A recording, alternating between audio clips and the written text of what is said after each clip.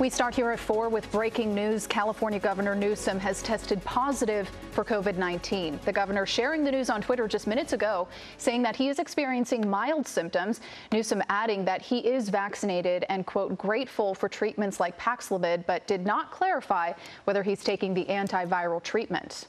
Hello, I'm Mark Brown. Get more great ABC7 content by clicking the subscribe button for our YouTube channel and download the ABC7 Los Angeles streaming app on Fire TV, Android TV, Apple TV, and Roku to watch on your TV.